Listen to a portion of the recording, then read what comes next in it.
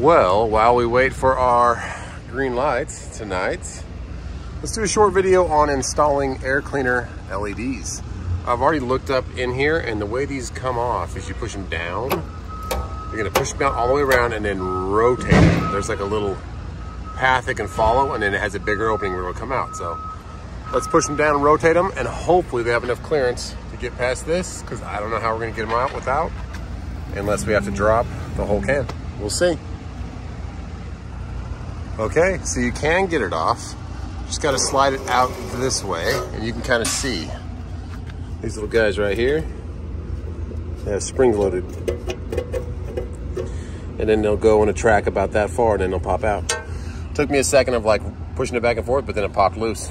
And now you have access to the inside of the air cleaner with these LEDs attached up here to the top. So let's see. We have to clean out surfaces and brake cleaner and then get them sticky. So we are going with the Trux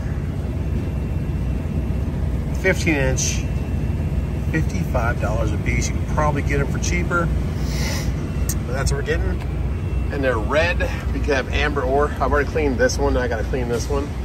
And then uh, they just stick on with a 3M tape on the back of each one of them. So I'm gonna take one of these out first and test it on these two wires back here.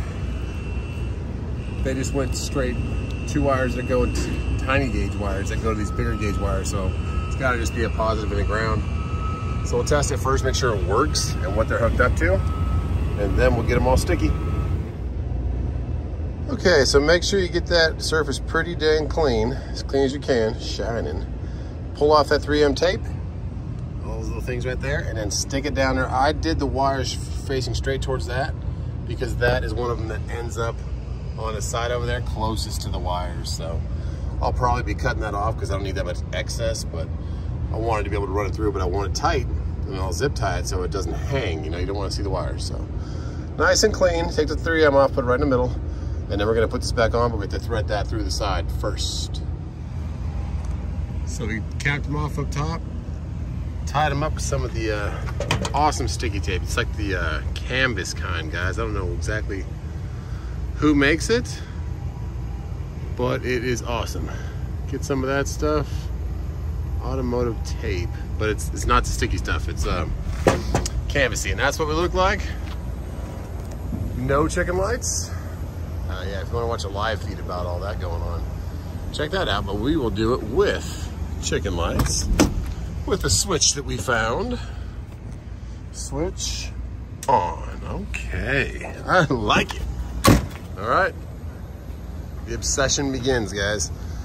We'll do the other side, but I like it. I'm glad we did red because it faces forward to this light, which is also red that faces back. So pretty cool. Okay, that is a how-to on air cleaner lights, guys. $55 a piece. I'm sure you can get them cheaper somewhere else, uh, but I got them from the Chrome Shop, and I'm digging the way they look. Just got to find that switch. Don't look through the whole fuse box like I did, trying to find if there's a blown fuse.